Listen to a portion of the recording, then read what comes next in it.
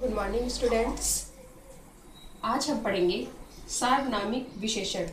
जैसा कि आपको पता है कि विशेषण के चार भेद होते हैं, ठीक है? उनमें से ही एक है सार्वनामिक विशेषण। इसके अंतर्गत जो सर्वनाम संज्ञा से पहले किससे संज्ञा से पहले लगकर उसकी विशेषता बतलाएँ, उसे सार्वनामिक विशेषण कहते हैं। जैसे, देखिए, यह लड़का बहुत तेज दौड़ता है।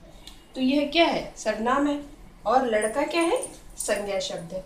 तो हम लड़के से पहले किसका प्रयोग कर रहे हैं? यह का। तो यह क्या हुआ? सर्वनामिक विशेषण। आप याद रखेंगे कि जो भी संज्ञा से पहले सर्वनाम आएगा, वो सर्वनामिक विशेषण कहलाएगा। ठीक है? इसी तरीके से दूसरे में भी यही है।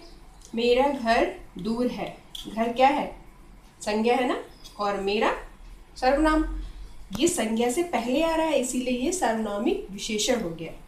ये भी यही इसी तरीके का उदाहरण मेरा घोड़ा काला है। घोड़ा क्या है? संज्ञा है ना? किसी का नाम है?